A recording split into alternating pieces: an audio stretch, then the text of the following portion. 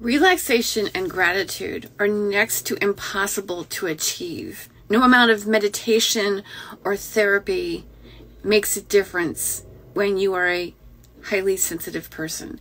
When you have a nervous system that processes information differently and constantly feels like it's buzzing or can become amplified rather quickly. I know this because I've lived it. So when I hear just relax or just be grateful, it actually sets me off. Now I can get to gratitude and I can relax when I integrate essential oils. Now look, this doesn't take away from medication because medications are necessary.